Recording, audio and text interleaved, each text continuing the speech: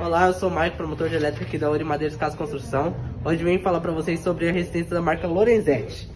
Caso precise comprar ou trocar uma resistência, verifique se a voltagem da sua resistência é igual ao seu produto. Caso seja uma emergência ou você for utilizar uma resistência que você já tenha na sua casa, é bom se atentar ao fato de que a resistência 220 se adapta para a maioria dos produtos, permitindo usar uma resistência 220 e um produto 110. Já a resistência 110 não tem esse benefício, pois é compatível apenas com alguns produtos 220. Você pode fazer essa inversão de resistência desde que seja modelos que te possibilitam isso, porém ele não te dará a mesma eficiência.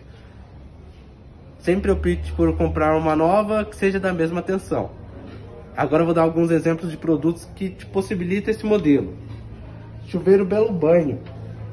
Ele não vai aceitar uma resistência 110 em um produto 220, mas irá aceitar uma resistência 220 em um produto 110 torneira elétrica Loren Easy e aquecedor Max Ultra.